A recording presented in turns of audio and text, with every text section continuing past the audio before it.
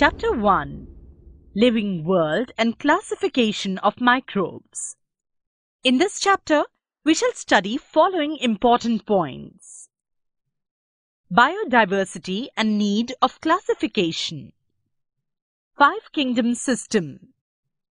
Characteristics of kingdom, Monera, Protista, fungi. Classification of microbes and its characteristics. Let's learn each of these in detail. Biodiversity and need of classification. Last year we learned that all the living organisms on Earth have adapted according to geographic regions, food ingestion, defense, etc. Ingestion means taking in food. Defense means to fight against enemy. While adapting, many differences are observed in the organisms of same species too. According to 2011 census, around 87 million species of living organisms are found on the earth, including land and sea. To study such a vast number, it was essential to divide them into groups. So groups and subgroups were created, considering the similarities and differences among the living organisms. So this process of dividing living organisms into groups and subgroups is called biological classification. Five Kingdoms System Robert Harding Whittaker, 1920 to 1980, was an American ecologist. In 1969, he divided living organisms into five groups. For this classification, Whittaker considered following criteria. 1. Complexity of cell structure. Prokaryotic and eukaryotic. 2. Complexity of organisms. Unicellular or multicellular. Mode of nutrition. Plants, autotrophic, photosynthetic. Autotrophic means organisms that prepare their own food. Fungi, saprophytic, absorption from dead organisms.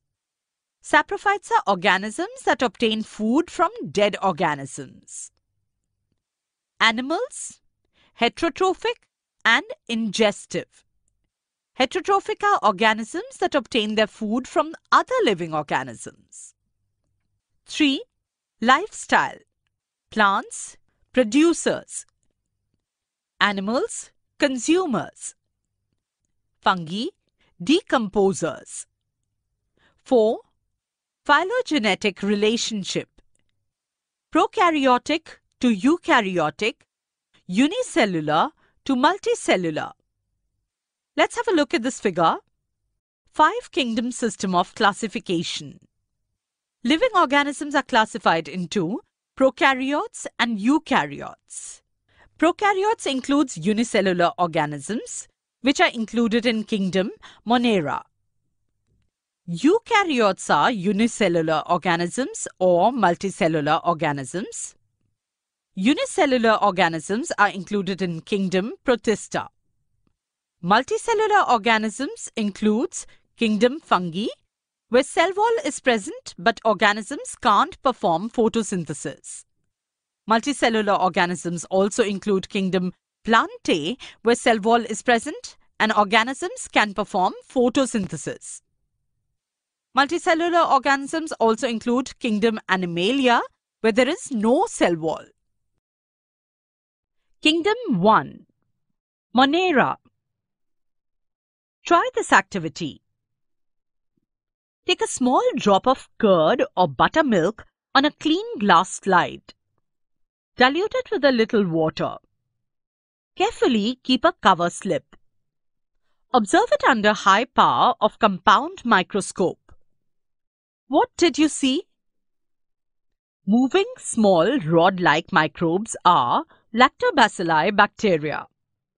All type of bacteria and blue-green algae are included in the kingdom Monera. Characteristics of Monera 1. The entire organisms are unicellular. 2. They may be autotrophic or heterotrophic. 3. These are prokaryotic cells without distinct nucleus or cell organelles. Kingdom 2 Protista Activity Prepare a temporary mount of one drop of pond water on a glass slide. Observe it under low power and high power of microscope. You will find some motile microbes with irregular shape. These are amoebae.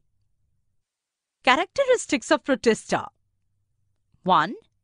Protista are single-celled organisms with well-defined nucleus enclosed in a nuclear membrane.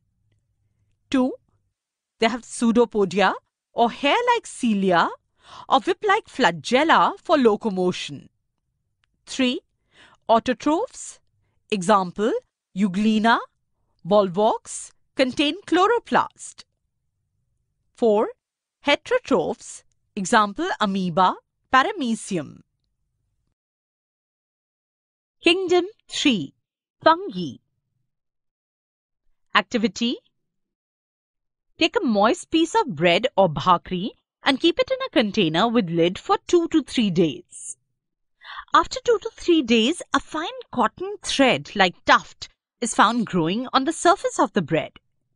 Tuft means a bunch or collection of threads. Prepare a temporary mount of few threads from this culture and observe it under the microscope. Characteristics of fungi 1. These are non-green, eukaryotic, heterotrophic organisms. 2. Most of them are saprotrophs. They feed upon decaying organic matter. 3. Their cell wall is made up of tough and complex sugar called chitin. 4. Some fungi are thread-like and many nuclei are present in the cytoplasm. 5. Examples Baker's yeast, Aspergillus, that is fungus on corn, Penicillium, mushrooms. Though many systems of classification are introduced after the Whittakers, his five kingdom system is widely accepted.